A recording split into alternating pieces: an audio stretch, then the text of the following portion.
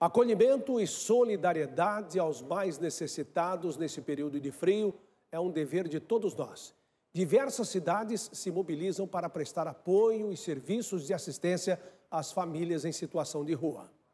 Em Santa Catarina, que enfrenta a massa de ar polar que chegou ao Brasil na semana passada, a Secretaria de Assistência Social de São Joaquim monitora as ruas para acolher e prestar ajuda. Estamos atendendo também com cestas básicas, cobertores, colchão. Fizemos atendimentos, vários atendimentos a domicílio e muitos aqui na Secretaria também. E esse atendimento do albergue temporário, com a busca ativa, as rondas noturnas que é feita é, todas as noites. Na capital gaúcha, a Prefeitura de Porto Alegre, junto com a Fundação de Assistência Social e Cidadania, realiza trabalhos de acolhimento, alimentação e banho em um ginásio improvisado na cidade. A Defesa Civil Municipal e do Estado vinham apontando então a situação de ciclone.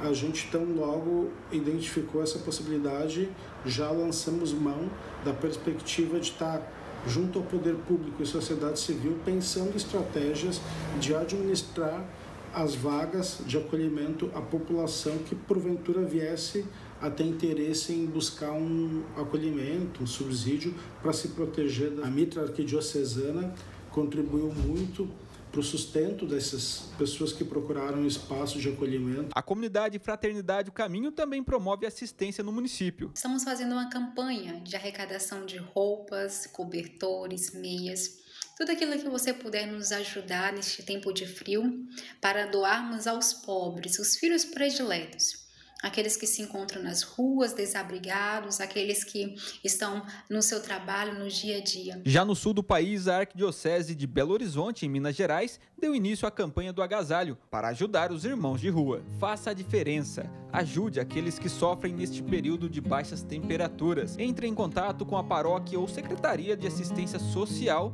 de sua cidade. Não custa lembrar um ensinamento de Santo Agostinho. Não existe verdadeira amizade senão entre aqueles que Deus une pela caridade.